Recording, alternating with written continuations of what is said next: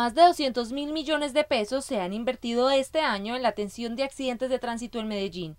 Según la Secretaría de Movilidad, en 2013 murieron 300 personas y más de 2.000 resultaron con heridas graves. Este año llevamos 23 muertos menos que el año pasado, pero todavía seguimos teniendo una cifra muy alta eh, de muertos en Medellín y una cifra muy alta en personas con accidentes y con lesiones graves.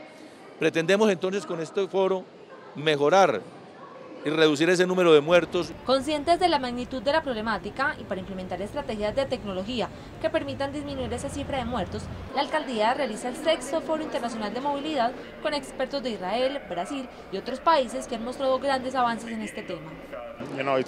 Hay tres factores o tres pilares para un buen, una buena ciudad con, con una buena movilidad.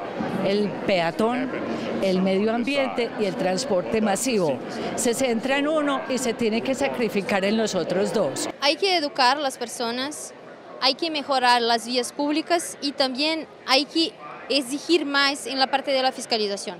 Tenemos que ser muy duros con esto, con la fiscalización, con la formación de aquellos que van a conducir los vehículos. El 50% de las muertes por accidentes de tránsito en el mundo son peatones, motociclistas y ciclistas.